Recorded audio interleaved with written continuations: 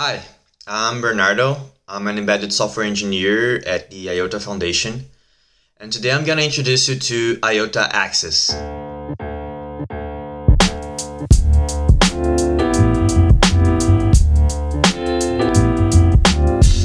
IOTA Access is a lightweight access control framework tailored for resource-constrained settings, such as embedded devices and the infrastructure in which they are used. With binary access control policies tied to decentralized identities, smart contracts, Stronghold files, and data streams, IOTA Access encodes sets of logical outcomes for physical and digital access control of a machine.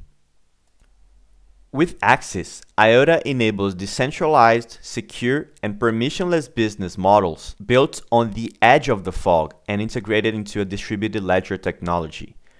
Let's look at a practical example.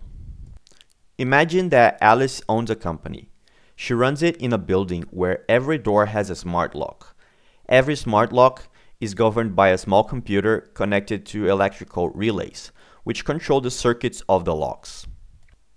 Alice wants to delegate access for three rooms, A, B, and C.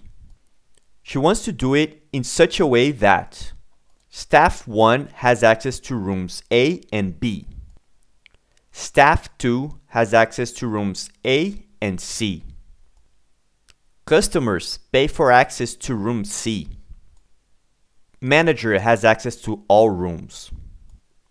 With IOTA Access, Alice encodes her access rules into a digital policy, which will be forever registered in the distributed ledger.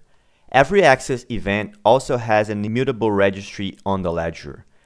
Every transaction made by customers is also done via the ledger.